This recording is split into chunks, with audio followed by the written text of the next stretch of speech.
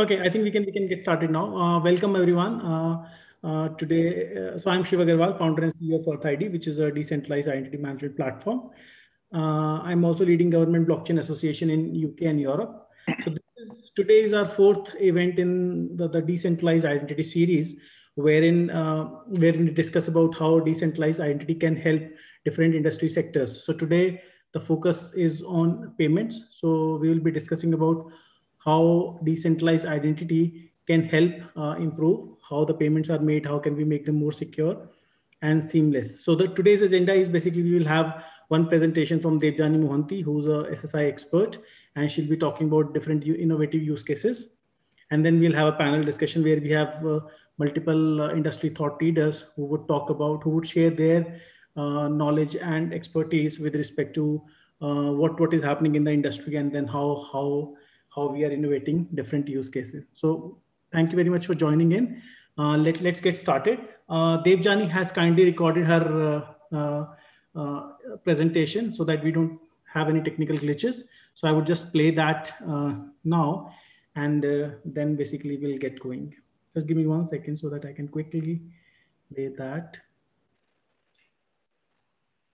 and Debjani would be available in the in the chat discussion. So please feel to uh, ask any questions that that that you have. Okay. So, share screen. So I'll share my entire desktop.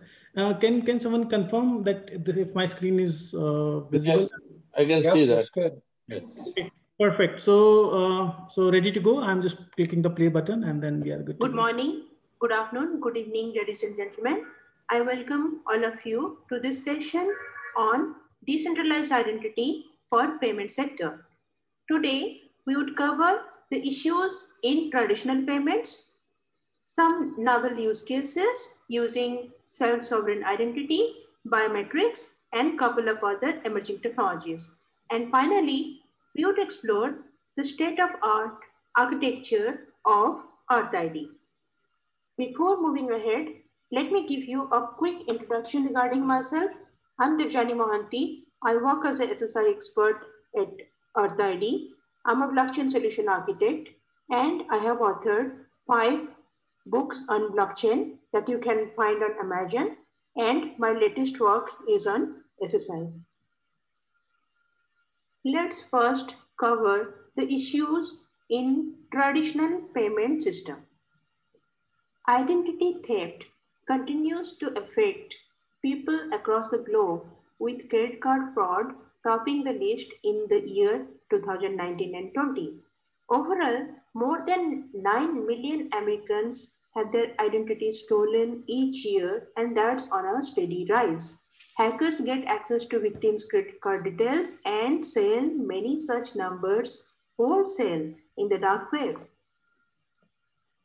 Payment card fraud losses are organized into five different categories. We can see that remote purchase, which means shopping on a website or shopping over the internet, occupies the first position and this has increased in last couple of years. Have you ever thought who pays for the compensation? Well, victims of unauthorized payment card fraud are legally protected against losses. Industry analysis indicates that bank and card companies refund customers in over 98% of cases. Yet, ultimately, it hits the customer's pocket as insurance protection and higher fees. Let's see how such information are stolen. They can be broadly divided into five different categories. The first one, hacker may get access to a company's centralized database where credit card information is stored for processing payment. This can affect millions of consumers. Example is Equifax data breach of 2017. Second is skimming, a credit card skimmer, uh, uh, which is a very small device that captures your credit card information from a legitimate transactions. So hackers secretly place the credit card skimmer over the credit card swipe machine at a gas station or ATMs and retrieve the required information. Third one is, um, you know, uh, malwares or viruses. So the hacker trick the user to install a malware software on uh, machines and monitor the user's keystroke or send the screenshots to the hacker. The fourth, uh, fourth one is pretty popular, phishing, where the hacker tricks the consumer into giving out credit card information by phone, email, or through fake websites. And final is dumpster diving, where the hacker get access to the credit card information from our receipts that we forget to shred. So what is common among all these cases is that hackers are looking for customers' personal information all the while, uh, which is their digital identity, which they use to commit fraud. So let's now explore what is digital identity. Digital identity is any personal data that identifies you online. We use digital identity during registration, any kind of identity management, login, authorization and access to online data, and deregistration. Basically, this is needed for initiating any kind of business relationship online. Why to protect digital personal data? Well, out of all the data breaches, personal data theft occupies the first position. Here you can see the top data breaches of all times. It includes the, some of the biggest names as eBay, Adobe, Anthem. And it has affected hundreds of millions of people. And the data that got stolen were crucial as bank details, credit card details, passwords, etc. The top reason for such theft are centralized server and weak passwords. Let's see how data related to digital identity are stored. The first model that came almost three decades back was centralized server where we used either LDAP or Active Directory or RDBMS to store separate set of user ID and password for each application. The second model is federated identity model, where we use a separate identity provider that has a centralized storage within it uh, with all the credential of users, and it handles the access to several third parties. But both models are vulnerable to mass hacking and single point of failure. Self-sovereign identity is a new decentralized model to manage digital identity. Here we have an issuer that issues verified credentials to the user that is saved securely in user's mobile device. At the same time, issuer sends a signed reference hash to the public blockchain. User can share the whole or part of the data to a verifier along with the issuer's public decentralized identity. Now the verifier can check the hash of the data on blockchain to know that if it is valid. The example can be a scenario where issuer is a passport office and verifier is the visa office and the user sharing as much data needed by the visa office with full consent. At a later point of time, if needed, the issuer can revoke the hash by altering a small piece of data and the verifier would be able to know that the data is no longer valid. This architecture ensures integrity, ownership, privacy, security, and validity of the data. And please note that there is no centralized storage over here. In real life, there are multiple issuers or certifying bodies or organizations who issue different sets of verified credentials. For example, Alice is born in a hospital that issues the first set of credentials. Then she applies for a national identity number, such as Aadhaar in India, which is issued by the government. Then she joins a school or a college that issues the third verified credential. Then she joins an organization um, as an employee that issues another set of verified credentials. The user saves this information to his mobile device most securely and the user can then share whole or part of uh, this data or in combination from different issuer uh, with a third party as and when needed. The user can share this data in three different modes. That is traditional mode, like I'm sharing my name as it is. Zero knowledge proof mode, where I'm not um, sharing the exact information, but sharing only in Boolean, like yes or no or true or false. Like if somebody asks me whether I'm um, older than 25, then I would say yes. So, and that would solve their purpose. Um, and at the same time, I'm not sharing my private data. So that is zero knowledge proof and selective sharing. Um, and then finally, the user can share some data in self-attested mode where um, the user doesn't need any kind of certificate. Like I'm just um, I'm just quoting that my hobbies are such and such. So nobody need to certify that. So those information can be shared on a self-attested mode.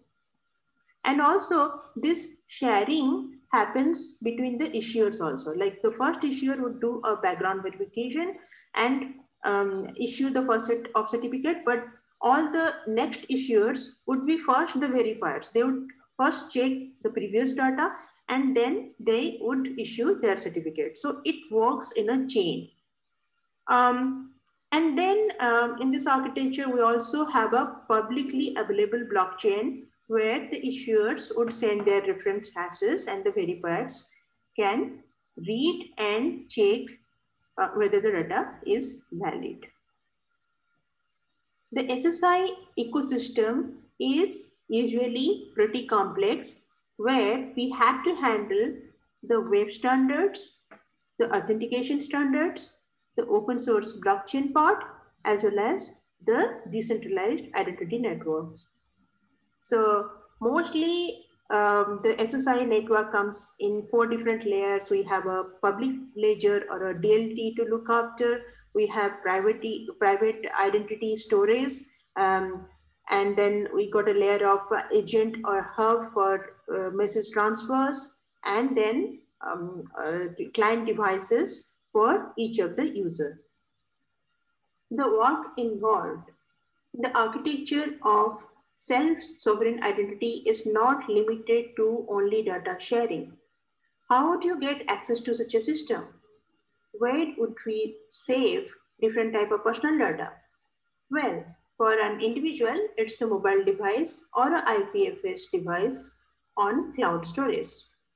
So here you can see Alice is keeping all her data in her mobile device um, in its natural form or with encryption, whereas Bob is keeping uh, his data on his mobile device and a separate copy on IPFS.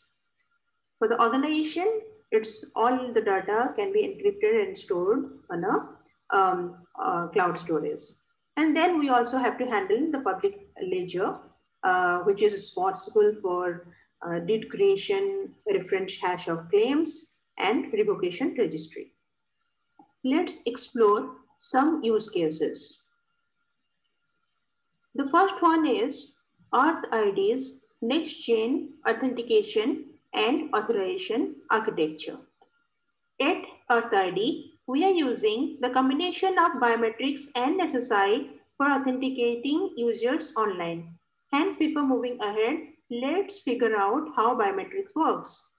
First, we use a scanner to scan the user's biometric profile, such as the finger, face, iris, retina, or palm vein, and then we extract some unique feature out of it.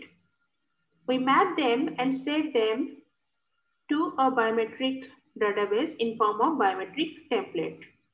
So biometric template looks something like this. It's in binary form 0101 like that. So this part is similar to the registration process we, where we create a unique user ID and password. At a later date, user can log in using the same biometrics and system matches it against the biometric template saved within it. and we used um, machine learning to recognize that, you know, and compare those two templates. Spoofing is pretty common in biometric matching. Spoofing is a method of fooling a biometric identity system where an artificial object like a fingerprint mold made of uh, silicon is present to the scanner, which leads the hacker to get access to authorized data uh, and services originally meant for the rightful owner. So how can we avoid spoofing? By using anti-spoofing mechanism that gives the user a challenge. Like if you are using your face as your biometrics, then the scanner would ask you to smile or turn your head. If you're using iris, it would ask you to blink your eyes. If you're using fingerprint, the sensor would check the temperature and pressure of the impression. And of course, there is a machine learning algorithm to study the high quality images. At EarthID, we are blending biometrics and SSI for next-gen authentication system. The user's biometrics would be captured only on the uh, mobile device and it is stored here. During registration, which happens only once, the biometric template can be sent to the issuer. Here, if needed, perhaps for a national identity program, there would be a round of background verification for the user, deduplication, and template can be saved uh, for identity creation and matching in future uh, to make sure that multiple fake identities cannot be created by a single person. For most of the use cases, this step would not be needed. Finally, the issuer would send a hash to the public blockchain, signing it with their own private key. Later, the issuer can log in to the same organization or a different organization that trusts the first organization, again from the same mobile device, where the template matching would happen um, and uh, the verifier would just check that the hash uh, that is passed to it is matching with the version on the blockchain issued by the issuer. For this use case, uh, we are using face, iris, fingerprint as the biometric at the moment. In future, we have the plan to use behavioral biometrics as voice and gait. Now, let's explore EarthID's novel and very interesting use case of privacy preserving payments, which means that you are paying using your credit card or debit card and yet not revealing any personal data with the merchant. But is that possible? Let's see. I believe that all of you are aware how uh, traditional payment system works. Here, when you purchase anything online or offline, you have to share your credit card details on merchant's web server, from where it goes to a payment gateway and then to the bank from where the amount goes to the merchant's account. Now let's explore EarthID's privacy preserving payment architecture. In this use case, let's say that the user has an account with this well-known bank. Now the user is visiting a restaurant in person or visiting a website on internet where he is ordering for some delicious ice creams. Now the restaurant or the website asks for payment with the amount to pay, the merchant's account details, and a unique reference number. The user sends an instruction to the bank with all these details for payment. The bank does the payment and sends a confirmation and at the same time sends a reference hash to the public blockchain, signing it with its own private key. The user shares those details to the merchant. The merchant checks the reference on the blockchain and delivers the ice cream. Here, you are able to generate the trust for the payment confirmation and at the same time not revealing the credit card details of the user with any third party. The next use case is on-demand location tracking for fraud protection. I believe we all are aware how location tracking works either for an individual or a vehicle through a mobile device. Now, let's go to the details of this use case. Location tracking is pretty useful to combat fraud in the world of payment. However, it raises high concern among many people over privacy and misuse. In this slide, you can find some of the extracts from a very recent report by payments.com where they have mentioned the reasons why people are not willing to share their location information. Especially the elderly are the most reluctant ones due to privacy and safety concern. They're also the group of people who are most targeted for credit card frauds. Now let's explore Earth on-demand location tracking with SSI use case. In this use case, you can find that the user is doing some payment and only at that time the user is requesting its network service provider for verified location details. Now the network service provider would keep on sending hashes of location details of the user uh, from time to time to the public blockchain and only after receiving a request. And then it returns the location credentials to the user. The user then can share the location data with the payment provider uh, during the payment. The payment provider can check the hash uh, and know that whether it's matching with the user's provided details. Doing so, the payment can be completely fraud-proof. The final use case is of biometric cards for payment. I believe most of you might have heard of biometric cards. Many banks started dispatching such cards to their customers. Now let's explore how such a biometric card works for payment. Biometric cards are extremely secure. You have to visit your bank and prove your identity. They would issue you a blank card with a sensor and all mechanism to capture biometrics with liveness detection test. So how that is done? Because each card has got an inbuilt sensor that can even check the temperature and pressure of a fingerprint. So with this mechanism, your biometric template would not be sent over the internet or stored on the server, but it would be there only saved on the card and it would be matched on the card itself while you do the payment either in a shop or uh, you know you visit an ATM for cash withdrawals. Hence, there is no possibility of man in the middle attack with this approach. So this is a very uh, new use case and uh, there are banks who have started dispatching biometric cards to their users. Biometric cards are a very novel product in the market and many of us are not sure what kind of issues and frauds it might bring in. Hence, we are trying to introduce on-demand location tracking with SSI to give this card additional security. We are still exploring this use case and there can be additional possibilities in future.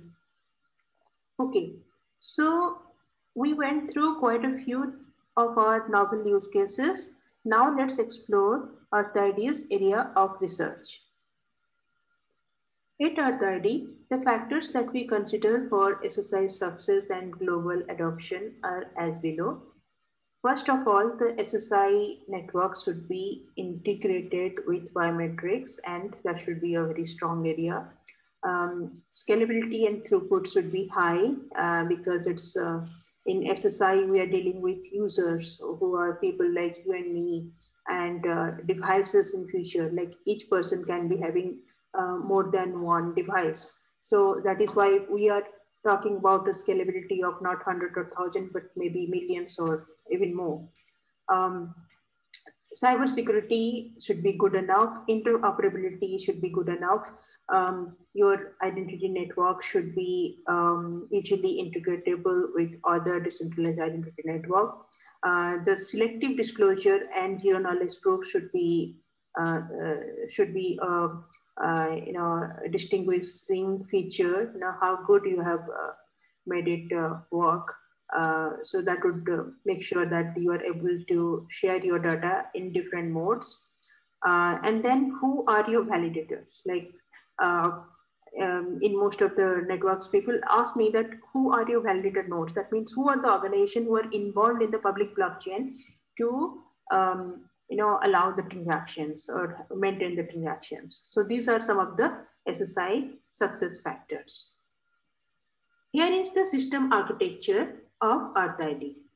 We are aligning with market leaders and best of the breed biometrics providers and trying with different type of biometrics which are most accurate and can be used with existing smartphones without the need of additional equipment such as sensors.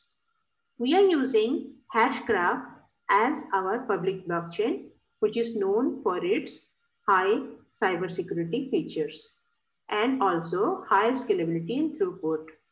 It has been tested with 10,000 transactions per second and 1.5 million transactions per day and still counting.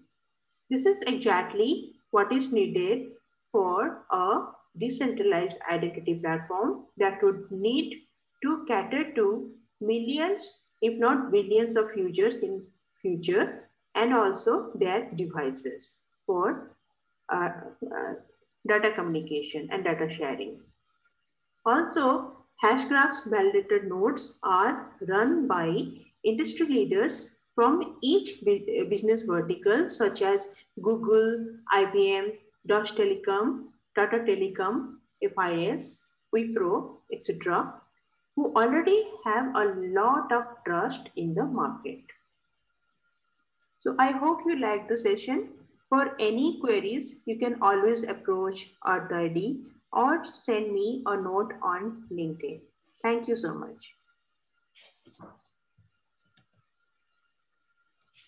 Thank you so much. That was a wonderful keynote. We really appreciate it. I'm sure our audience enjoyed it very much. My name is Ingrid Basilio Feltes. I'm the Chief Ethics Officer for uh, GBA, and it's my great honor today to moderate our panel. As you can notice we have a distinguished uh, panel with us. We have four guests and I'm gonna introduce them one by one briefly. Uh, please forgive me, I'm gonna just trim your bios because otherwise we would take up the whole event. so I'm just gonna highlight a few elements from each of you. Uh, first, we have um, John Carpenter. He's the co-founder of the Global Blockchain Summit and the Global Data Summit. He's also a sought after blockchain speaker, author, educator, and consultant. He's the chief operating officer of Pinnacle Card, a leading e-commerce company, as well as PruPay touchless payments. Next, we also have Dr. Sindhu Bhaskar.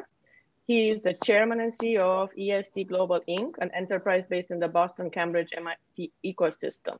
He has three decades of niche experience and is a firm believer of innovation driven entrepreneurship and is working tirelessly towards borderless banking.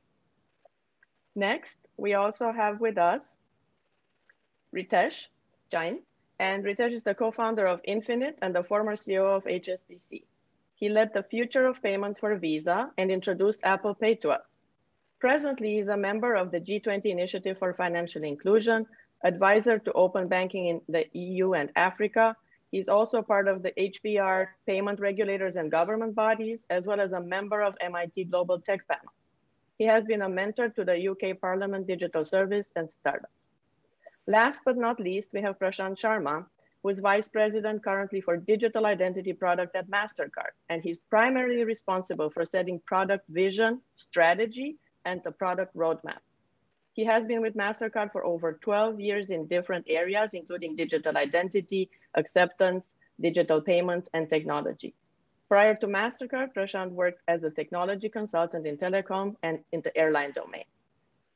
I think Prashant has a few slides to share with us, so we're looking forward to kick off our panel with those slides, and then we're gonna start our uh, interactive discussion. The floor is yours. Great. Um, Ingrid, thank you so much. And you can hear me okay, right? Perfect, yes. And we... Great, let me just share my screen. Ingrid, do you have to make me a presenter to be able to host or I'm just not seeing an option to. You should be able to do it now. Okay, I see it. Yep, I see it now. All right. Guys, can you see my screen? Perfect. Okay, great. Um, so as Ingrid mentioned, uh, my name is Prashant Sharma. Um, I'm the VP of uh, Product of Digital Identity at MasterCard. Um, I've been in this role for for last couple of years, but uh, have been in various roles within Mastercard, including digital payments, acceptance. So have a lot of experience uh, uh, in terms of digital identity and payment. So just want to take a few minutes just to talk about the work that that we are doing in this particular area, and this is a very very passionate area for for me. Uh, digital identity is a critical area that Mastercard is focusing on, putting a lot of investment. Payment, as everybody knows, is our bread and butter. So let's just talk about uh, uh, digital interactions. You know, before we get into digital identity and payments, um, a lot of us we have been impacted because of what happened with COVID. Um, we things were moving online. A lot of things that we were doing, whether it's uh, opening up a bank account, uh, whether it's education, applying for health insurance, a lot of those things we were doing online before COVID hit. But after COVID, given that we were not able to do any face-to-face interactions, all these transactions, they, they were amplified and new transactions are coming up as well.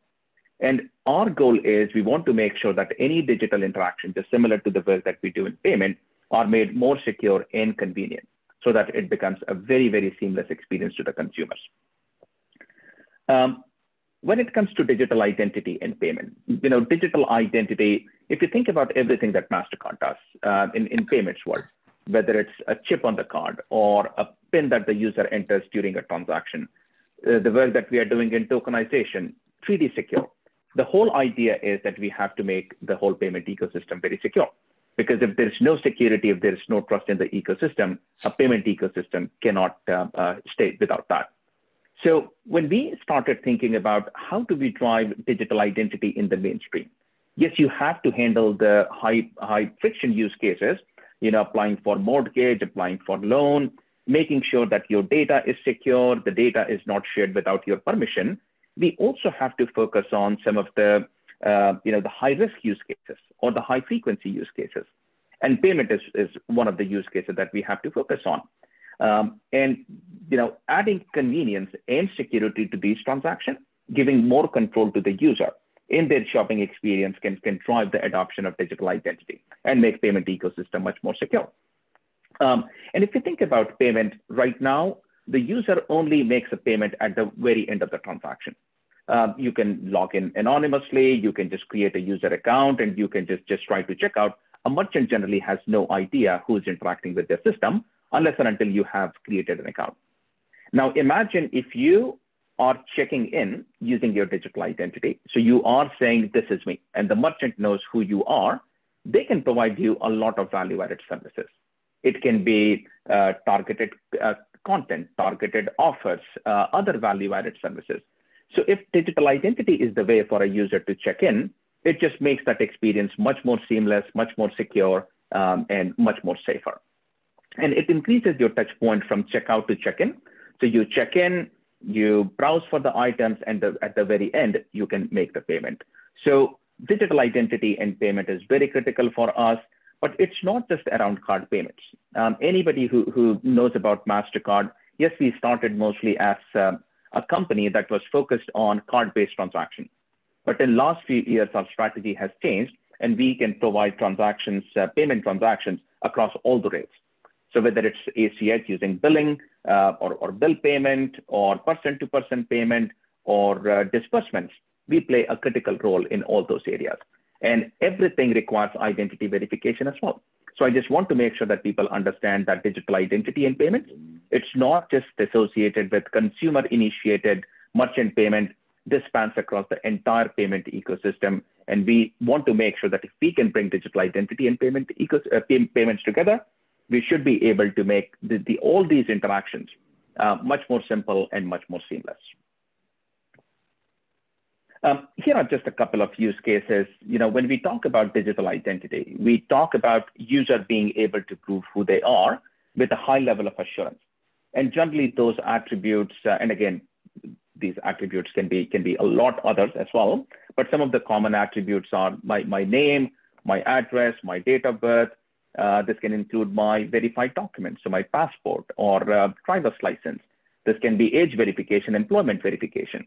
But then if you think about the use cases, um, I'm buying a bottle of wine online.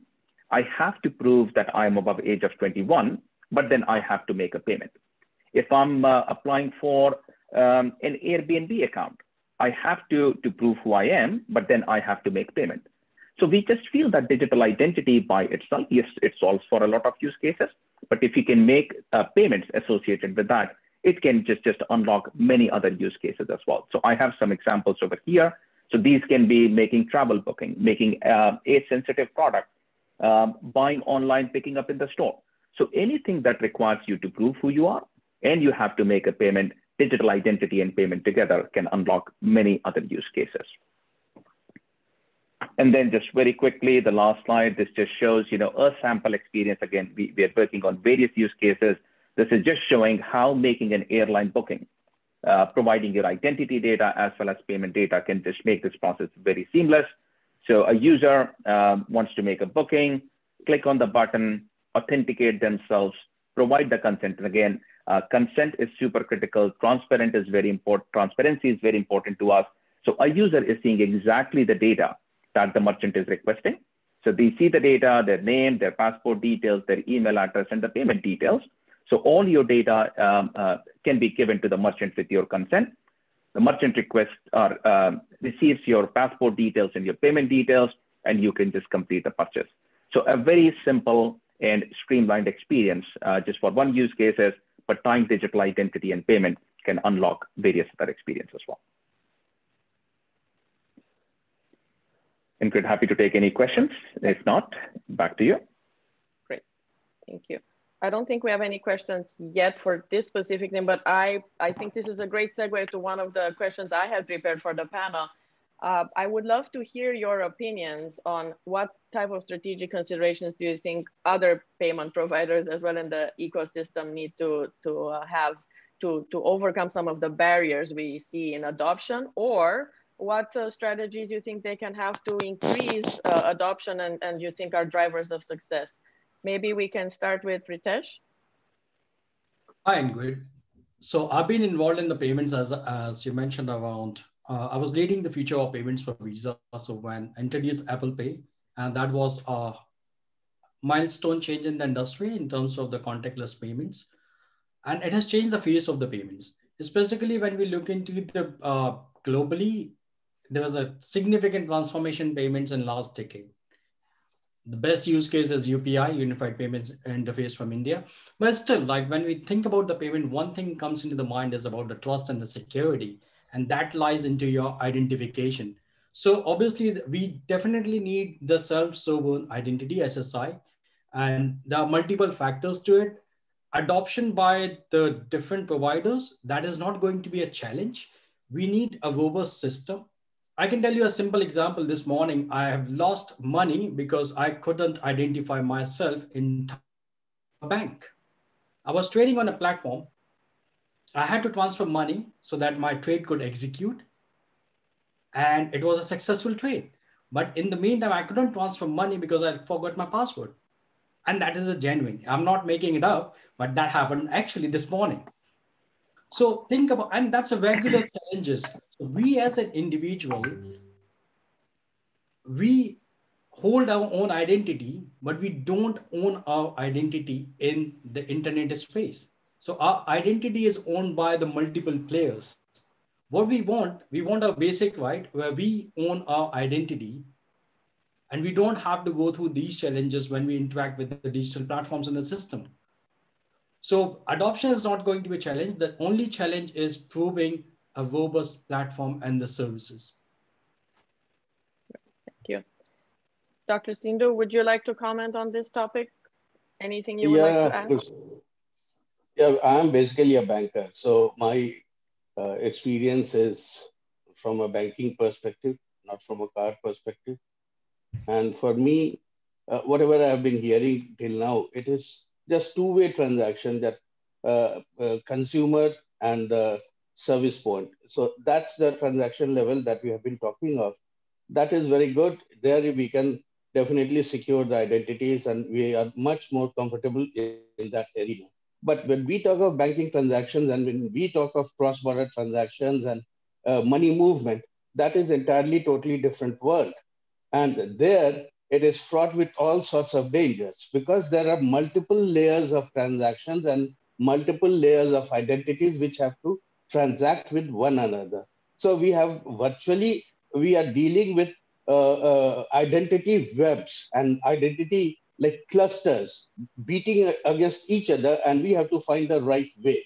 Now, there, so many considerations are there, uh, like uh, country specific, location specific, how you are uh, retaining and uh, porting your data, how you are creating the data harbor, how you are creating the data hygiene, how you are maintaining all the agenda of FATF, the country local regulations.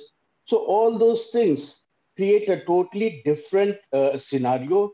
And since the battle goes to cyberspace, which is again a very, very dark world. So that's why we have to see how we are going to dominate that arena and create a niche for ourselves in that uh, sovereign status for our identities. And we can really control ourselves because once it is there in multi transactional, uh, uh, say, uh, trans uh, base, then you lose your control. Uh, you think that you are controlling it with hash or you are controlling it with your biometrics, but there are so many multiple biometrics which are uh, hitting against your biometrics. And that is why I think there will be, again, talk of like multi-factor authentication or some, like in maths, we used to do uh, higher common uh, denominators and all that. So those type of things uh, are going to emerge because we are in a more complex digital world. Thank you. John, I'm sure you have some thoughts about this too. Would you like to weigh in? Sure, I'd be glad to. So really the perspective that I'm coming from is the e-commerce perspective. And so a few things that I think really the self-sovereign identity would solve for our perspective is, you know, when we're onboarding a new merchant into our PruPay platform, being able to have these verified credentials rather than having the merchant having to go through a very long process of being, you know, verified KYC, AML, and uh, getting all their banking information, being able to have, you know, a self-sovereign identity token to be able to do that would really reduce a lot of friction. And then also on our PruPay touchless system, you know, the whole concept beyond that was based on the pandemic. We wanted to be able to have, you know, curbside delivery or touchless uh, delivery or touchless payments. So being able to have uh, self-sovereign identity from the consumer perspective would really reduce the friction there. And so rather than having to go through our messaging platform to be able to have a consumer process a payment to, let's say, a restaurant or any other type of food delivery, that they could just use the biometric scan that you showed, and the one you showed was a Face ID. And I think that that would really reduce the friction and spur adoption of any type of uh, self-sovereign identity payment methodology. You. I see a lot of questions coming in on two topics, so I think we need to address them. I'm not gonna wait too long because uh, everybody seems to be concerned about data governance in terms of using uh, these type of uh, methods. Maybe you can uh, all comment and weigh in what kind of safeguards do we have so that people have trust in these methodologies and what can we do in the ecosystem to enhance portability, compatibility, interoperability. Um, maybe Prashant will start with you another fresh round on this. okay, sounds good. Yeah, so let me just start by saying that you know we are a big, big supporter of standards in the ecosystem. Anything that we do in the payment ecosystem, that is all standard based. Um, similar to digital identity, we are a big, big supporter of standards, and we feel that you know um, user always owns their data user controls it, they own it, they decide who they want to share it. Um, where I or, or we at, at MasterCard, we struggle with is the governance layer in, in this ecosystem. User must own it. User must decide with who they want to share. There should not be any centralized repository of database. And if anybody reads our, uh, our white paper on our principles around digital identity, we are all very, very aligned. What we see as missing is the governance layer. Uh, creating an ecosystem, it takes time. Um, it, it takes somebody or, or maybe some like-minded companies or a consortium to be able to drive these standards. Um, these things will not, uh, they will not um, uh, uh, exist without proper governing principles. You know, imagine in the payment ecosystem, you made a purchase, item did not show up. What, what do you do? You, there needs to be some rules. There needs to be certain scheme who manages these things um, or you buy certain product and um, uh, it was the, the quality was not what you expected. You should have the capability to be able to return these things. So having these rules around payment is very critical. That's what made payment ecosystem very secure. And the same thing needs to apply to digital identity ecosystem as well. And these rules must does not just apply to, to the entities who are participating, it must also apply to the users also. So what we feel is governance is critical there has to be like-minded like-minded companies or consortium who needs to drive this ecosystem. We are definitely seeing, you know, parts of these ecosystems evolving across the globe. But for this to really become a global interoperable ecosystem, there has to be a global standard and something that MasterCard is very, very happy to work with the partners. We are playing an important role. We are the founding members of Trust over IP, but we feel those are the things that have to be in place for this to truly become a global interoperable ecosystem. Thank you. Ritesh, you also have experience across multiple continents. We want to touch a little bit on all these governance challenges we have and also on the technical interoperability and portability that's so important. Both are equally important. Thank you, Ingrid. I couldn't agree more with Prashant, what he has said about the governance and the security. Uh, the regulatory varies significantly in payments. Payments are I would avoid to say that, but let me tell you, payment is a political business, right? And payment is a, a heart and soul of the businesses. So obviously, when it comes to the payments, the one thing which is critical is the identity, and the other thing which is critical is, and when it comes to the identity, another thing which is critical is around the data regulation, which we are having quite regularly nowadays. And we are seeing a significant transformation in the industry, in the payments, as well as in the banking and overall financial industry. We have seen that with the regulatory changes from open banking, and we are moving towards the open finance or in the future. But ultimately, even when we think about anything else, the data regulatory plays a significant role in the payment innovation and the evolution and adoption of payment methodologies in the various regulatory or various regions. European market is pretty much mature in terms of the data, uh, data regulatory. When it comparison to Asian market, which is still catching up, Australia is setting up another milestone with the new regulatory, which is coming in shape now, which is the CDRs. US is still following up the footsteps. So it varies significantly in terms of the regulatory. Yes, we need a global government governance body to take control of this and have, if we want interoperability around these payment systems, we need the leaders like the MasterCards and the Visa and the PayPals of the world to come together and take the leading role in the governance along with the government regulatory bodies. It is not going to happen by individually by the payment companies or the governments or the fintechs, because ultimately you need a combination of that. And basically with the payments, we are fighting a lot many other challenges in the industry as well, financial inclusion for that matter. And identity is the key over there as well. So yes, we need a collaboration between these three pillars. Thank you. John, would you like to weigh in given your professional uh, background? I think you have probably a lot of thoughts on this issue too, in terms of global governance. Oh, global governance, I think, is definitely based on consortium, just as the two gentlemen talked about there.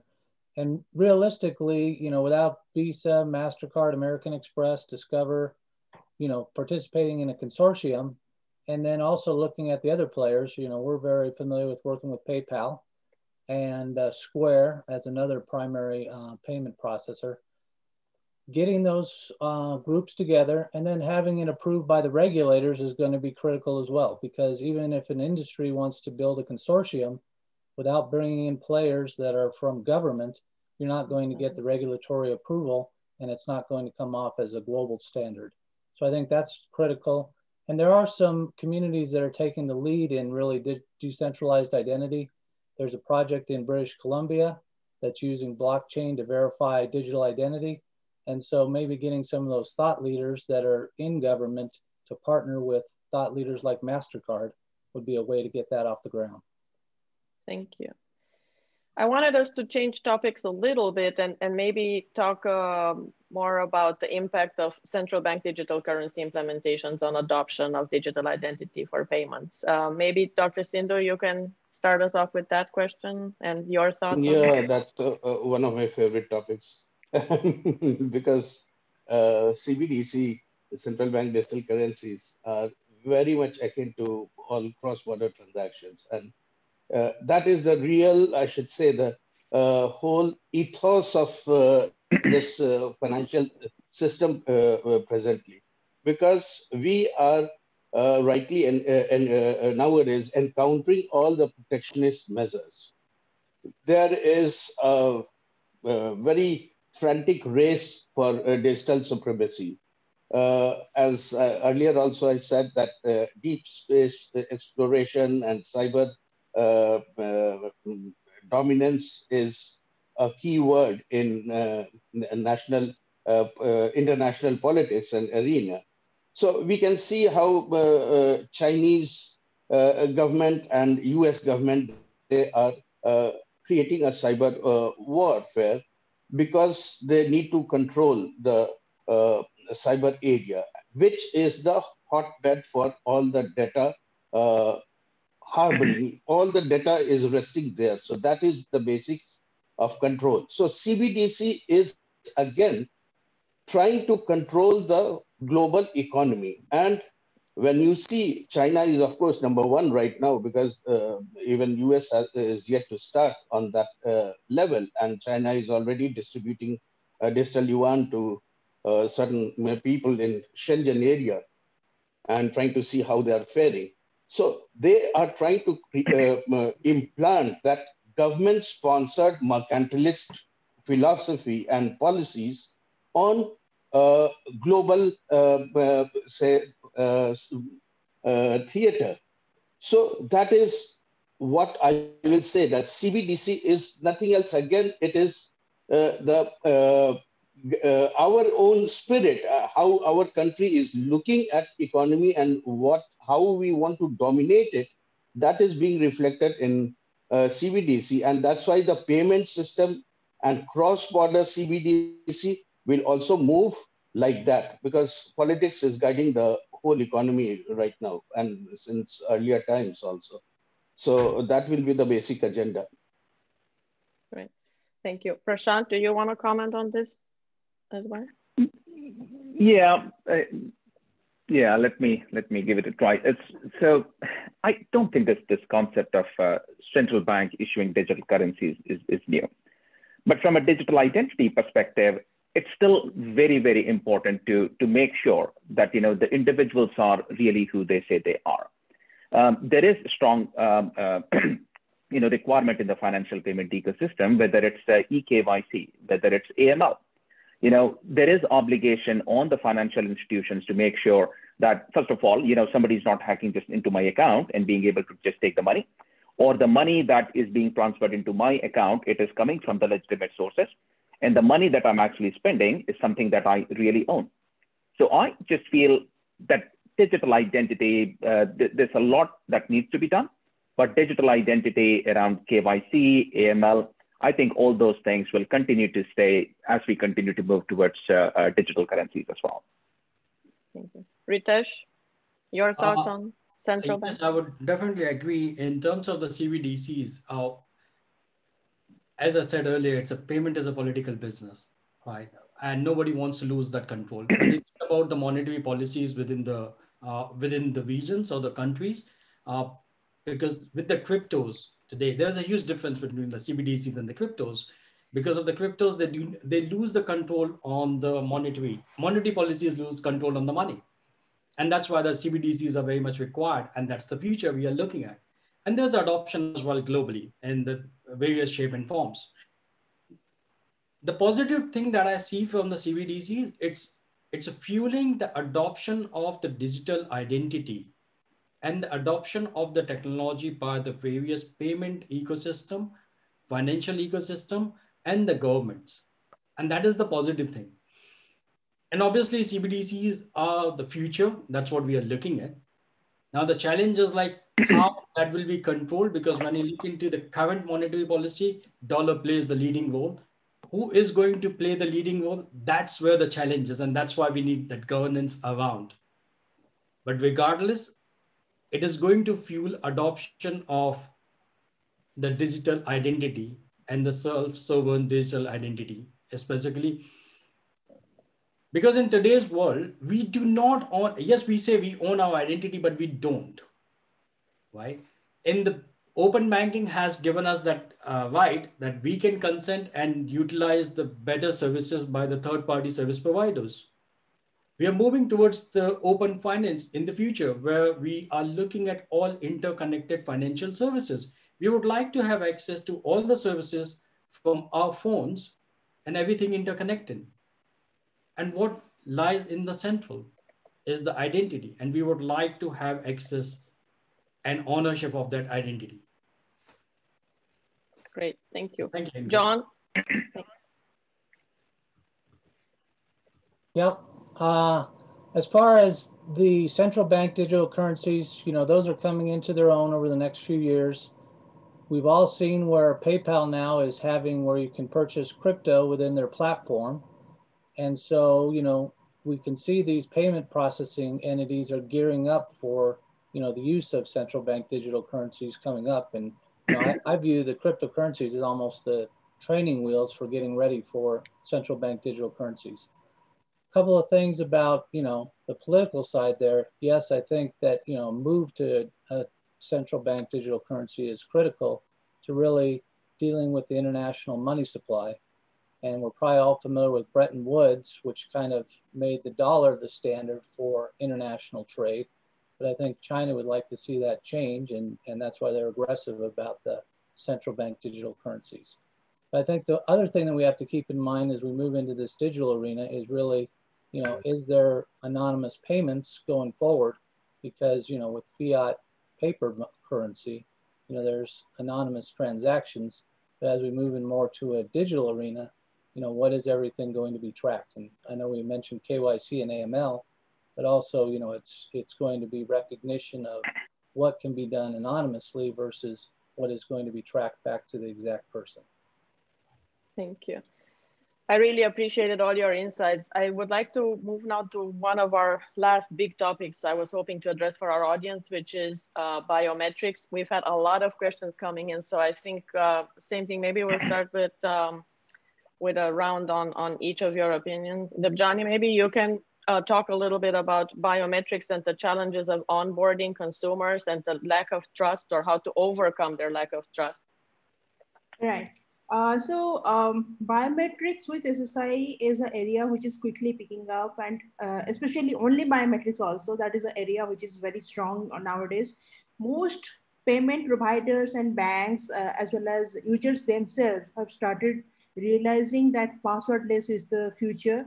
So uh, major banks and payment providers, as I, as I already presented um, in the slides, uh, you know, like uh, NatWest, Visa, MasterCard, they have started issuing biometric cards to users for payments that has limited possibility of a man in the middle attack because as I said, um, now people mostly are um, you know um, apprehensive to um, you know work with biometrics like you know because that is something at the moment are mostly stored in centralized uh, data stores. But with this biometric cards, a new approach has been um, uh, you know taken. Uh, all the data matching, the biometrics matching happens in the uh, card itself.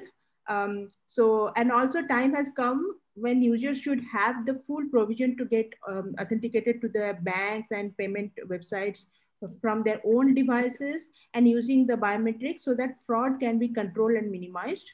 Uh, hence, uh, time to invest heavily in good biometric capabilities such as fingerprint, face, iris, uh, whatever we can do using our existing devices. And there is, I mean, no no uh, requirement to go for additional investment uh, and we can do it with an with our existing smartphone. So this is an area which needs further investment in terms of research and good liveness detection tests so that we can control the false positives.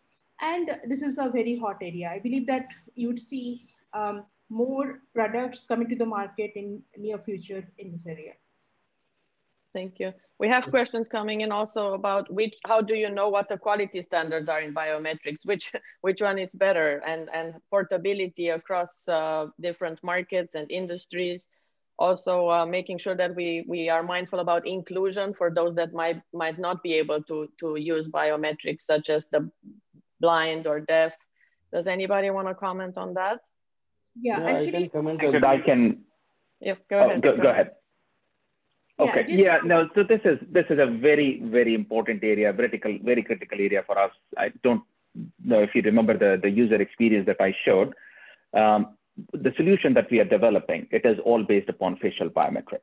Um, you know, the example that Ritesh gave this morning, he was unable to trade because he forgot the password. I'm pretty sure everybody remembers the, the story about the guy who had, you know, millions of dollars of blockchain, forgot the password, so definitely having biometric. And if we don't have to remember password, it just solves for so many use cases. Um, you know, Johnny, you talked about uh, biometric card. So again, drives immense value, reduces fraud, re reduces friction in the ecosystem. I don't have to remember a PIN. Just makes life very, very convenient. Um, we talked about man in the middle attack or a replay attack.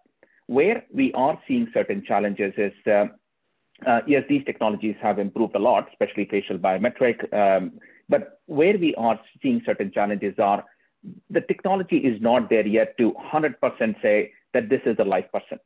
You know, can there be replay attack? Can there be, um, I know this, this continues to evolve, um, but solving for that liveness detection is very critical in this particular area. We have to make sure that the individual who is interacting is a live person sitting behind the camera. They're not doing replay attack. They're not putting video. They're not putting photos.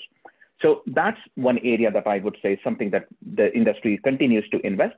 And the second area is the standards. I think you, you mentioned Ingrid.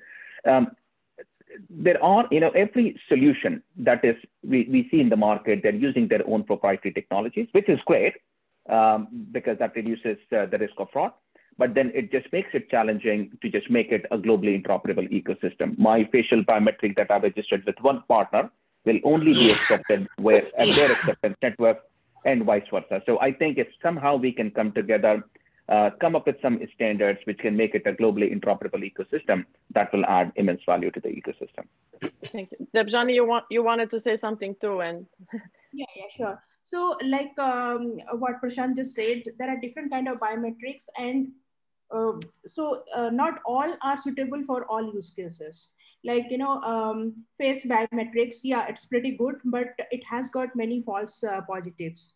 So similarly with iris at the moment fingerprints again um, it has got its own issues. So we are just trying to think that what are the biometrics that we can use with our existing mobiles uh, or uh, devices or smartphones like you know palm vein is a very good biometrics but then it needs additional sensors additional kind of you know uh, different kind of cameras. So the technology is new and we cannot do it with our existing uh, smart devices smartphones. So that is why uh, we have created a special video uh, with SSI and biometrics, different kind of biometrics and the different use cases where they fit in and that has been recently presented at Hyperledger Global Community. So Shiv is going to share that with all of you. So maybe that would be uh, helpful. You can, you can have a look at that. Thank you. Ritesh, can you also share some of your thoughts on biometrics? I know you have some uh, interesting use case that you want to share on that. Sure. There's a uh, um, there are a couple of companies. I don't want to name them over here again. Like we are not marketing anybody, uh, and no favorites. But there are uh, very interesting use cases, which I'm pretty sure we most of us are aware of in UK and European market. Uh, it's related to the cards, so biometric cards, and which are going to be used for the CNP, like card not present. So that will reduce the false positive and false negative, as well as that will reduce the issues like the chargebacks and the friendly frauds and the other sort of words. So uh, I can talk more about it in the future. Given the liberty, I can only discuss so much. But uh, when it comes to the biometrics, you know, here there's a huge disparity that we are looking at in the overall scenario. At one end, we are looking at the self-sovereign identity as well as the digital identity. On the other hand, we have around, I wouldn't say the number of 1.7 because that was two, uh, 2017. We are talking about between 1.35 to 1.4 billion population. They do not have uh, access to the financial services, unbanked population, right? So the challenge is how we can make these systems and services available to common people. And again, the question comes down to the governance and the industry players like the MasterCard or the Visas or the PayPal sort of world, how much they are doing and what they can do to make it possible for people to bring in into the mainstream of the finance. Because there are two different worlds altogether. Here, one hand, we are talking about the cryptocurrencies, people are dealing with that. On the other hand, we have got a one fourth of the population who do not have access to the basic financial services. And it is not down only to the developing countries or the underdeveloped countries. The challenge is everywhere. It's even in the developed countries too. You talk about UK, US has a major issue. So we need to think well beyond technology. We need to think more rationally for the society. Thank you. So it was long-winding answer, but uh, my heart goes out to the people who do not have access to the finan basic financial services. John, any thoughts on biometrics? And maybe you want to comment also on B2B. We have a few questions that are trying to ask us if we have any opinions on the B2B component, not just on the person to business component. Yeah, as far as biometrics, I see that as, you know, being a great addition and a lot of times, you know, we're talking about chargebacks and card not present transactions. Really, I see biometrics as kind of another layer where you can say, okay, let's reduce a little bit of the transaction cost because you have biometrics. So maybe not view it as a requirement, but maybe view it as an option. And it is a little bit better for the merchant as far as the processing cost. And then as far as B2B merchants, I do see blockchain smart contracts as really coming into their own between merchants. So a lot of the trade finance and supply chain agreements I see as being able to be settled using smart contracts and then being able to have the payment settle upon actions that occur on the blockchain network, not worry about, you know, invoices going back and forth and having to do processing of payments based on invoicing. Thank you. So maybe to we're getting close to the end of our panel. Maybe the one of the last rounds. I would love to hear what uh, what future trends you think uh, we're facing, and maybe your favorite one, if you can pick one. Um, Dr. Sindhu, maybe you can start us off with this last round. Yeah, uh, we are working with the farmers blockchain, and we have created that uh, uh, as a composite tool uh, for financial inclusion as well as uh, uh, occupational mobility in tier four, five, six, whatever tiers are there in any country. Now, when we are launching it and whatever app we have created, we are, we are using biometrics, but we are using multiple biometrics so that they can perform interoperable functions in multi-direction. So it is not only taking care of the identities, but with uh, like uh, finger biometrics or thumb biometrics uh, scan, we are also taking care of their health, like uh, what is their pulse, what is their BP, like that. So uh, it is not only a tool for inclusion, not only a tool for identity, but it is a composite tool for the whole personality of an of a human being. That how we can create multiple utility from one perspective uh, that is biometrics. Uh, second thing, uh, I am, of course, more interested in the commercial aspect of all these digital identities because I'm basically a banker. So my focus always goes towards that. whatever we talk of sovereign identities, we become weak and it becomes a slave to the country's uh, uh, international identity and country's philosophy. So we, our uh, subjugation is complete. We say and we think that it is sovereign identity, but it is not at all sovereign. And uh, that's how uh, even the uh, Bank of Canada, when they are trying to develop their CBDCs, they are also talking of permissioned decentralization. So in place of uh, absolute decentralization, which all crypto lovers want, uh, we are never going to have uh, that free run uh, because of all the compulsions of the government. So we will have a centralized decentralization atmosphere in which all the identities will work and they will remain subservient to the national identities. John, any thoughts on future trends if you had to make your prediction of what you believe will be the trend we'll most likely face over the next year or two? Yeah, I think my prediction is really around the central bank digital currencies and even cryptocurrencies for e-commerce. We saw that uh, Dan Schulman and uh, PayPal moved aggressively into now offering PayPal purchasing of crypto within their platform. And I think once we get beyond, you know, the first iteration of the general public, and I think PayPal has around you know 20 million plus consumers getting accustomed to using cryptocurrencies and using central bank digital currencies, then I think that that's going to come into its own for e-commerce. Ritesh, prediction? Uh, definitely adoption of the CBDCs and the cryptos uh, of the world in the markets. But at the same time, I would completely agree to what Dr. Sindhu has said around uh, the centralized, decentralized digital identities. Though, because of, we can't self-attest our identities. Yes, we need ownership of our identities, but we can't attest. So we need a central bodies to attest those identities. For example, you uh, with the central identity or with the self-sovereign identities, you can't really identify the PEPs the political exposed person, or you can't really do uh, the validations like the government identities. So yes, we that's why we would need the centralized, decentralized identity, and that's the future we would be looking at. Prashant?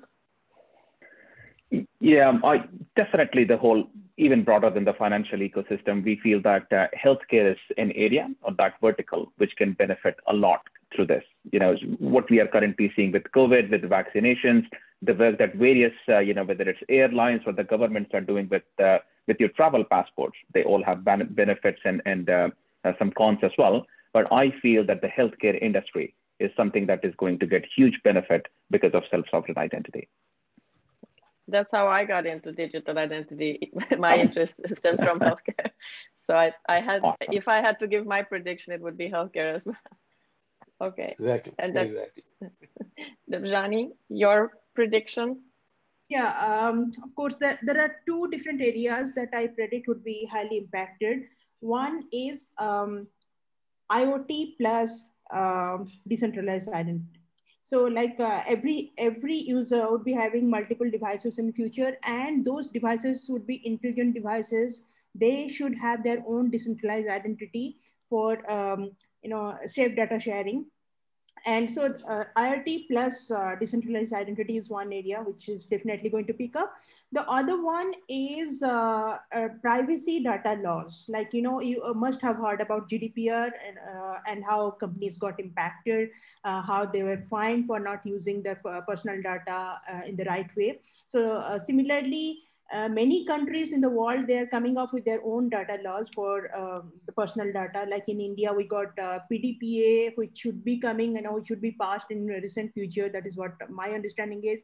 Perhaps in 2021 similarly singapore has uh, pdpa um, and many of the many countries in, in us also they have got different uh, consumer data laws. And um, we have to perhaps re-architect some of our systems to handle the personal data uh, with more care. So this is an area that would definitely pick up. Thank you.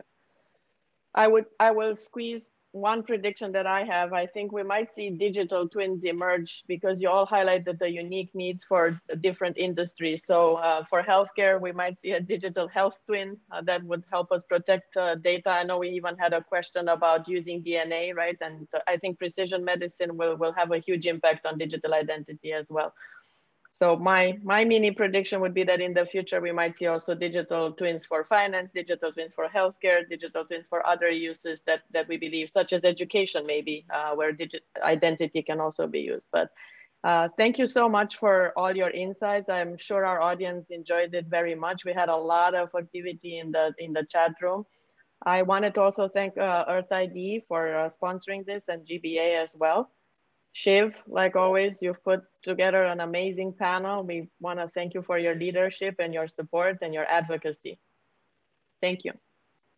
Thank you. Thank you very much, Ingrid. Uh, I really appreciate uh, all of you joining. So I would like to thank individually. Uh, thank you, Ingrid, Prashant, Ritesh, Dr. Sindhu, John, Debjani. I think it was a very, very interesting conversation, and I think I really enjoyed it. And I think this is this is what we want uh, to share with our audience, right? Because because we all are uh, working together to push uh, uh, the adoption of self-sovereign identity. And that is where we need a lot of education and awareness around the world so that people can understand what this what this concept and technology is about and how they can how they can use this technology or even concept uh, to to drive better uh, services and get get uh, better services right? So i think this is so we'll keep doing this every every month we have a we have an event which basically talks about decentralized identity across one one sector. Uh, so next one, uh, next in line is basically okay, yeah, uh, for travel sector, which we'll be doing uh, in February, and I would like to invite every one of you to please join that event as well. We'll share our details over different social media platforms, and I think it would be great to have that conversation. Uh, as, a, as a closing note, because I think the EarthID team has put a lot of effort and they had a message uh, which I wanted to share with every one of you. And it's a, it's a small uh, video which I want to play. I hope, let me know if you are able to see my screen and then yeah. I'll play that video. Okay. And yeah. okay.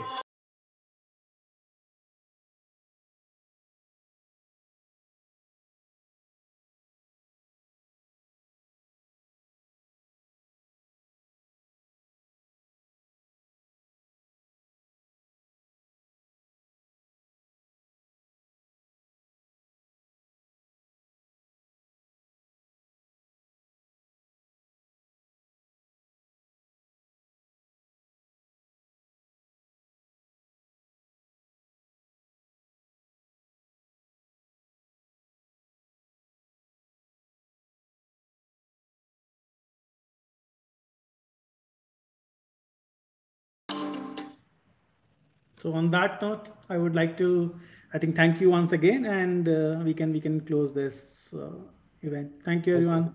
Thank you. Thank you. Thanks. Thanks.